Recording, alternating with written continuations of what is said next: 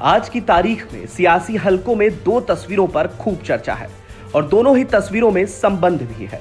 एक में चाचा शिवपाल हैं तो दूसरी में भतीजा अखिलेश यादव। अब अलग अलग रंग से समझें तो एक तस्वीर में जहाँ आज़म खान की रिहाई के दौरान शिवपाल यादव के साथ उनकी तस्वीर सोशल मीडिया पर वायरल हो गई है तो वहीं मुख्यमंत्री योगी आदित्यनाथ के साथ पूर्व मुख्यमंत्री और सपा सुप्रीमो अखिलेश यादव की तस्वीर भी खूब शेयर की जा रही है। योगी आदित्यनाथ और अखिलेश यादव के साथ। तस्वीर में लोकसभा अध्यक्ष ओम बिड़ला, यूपी के विधानसभा अध्यक्ष सतीश महाना और डिप्टी सीएम ब्रजेश पाठक एक साथ बैठे नज़र आ रहे हैं।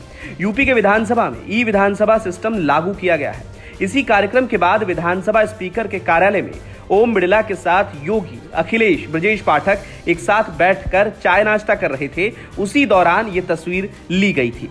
वहीं इससे पहले विधानसभा के मंच पर मुख्यमंत्री योगी आदित्यनाथ के साथ मौजूद रहे अखिलेश यादव भी सदन के बदले स्वरूप को देखकर अचंभित रह गए। उन्होंने कहा कि विधानसभा को देखकर उन्हें तो लगा कि जैसे यह कोई आईटी सेंटर हो, इसके लिए उन्होंने इस विधानसभा स्पीकर और योगी सरकार को बधाई दी।